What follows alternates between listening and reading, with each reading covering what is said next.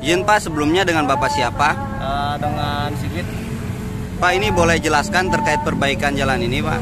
Uh, perbaikan jembatan ini sebenarnya perbaikan sambungan menggunakan metode eh, dengan menggunakan uh, apa sambungan expansion joint tipe seal.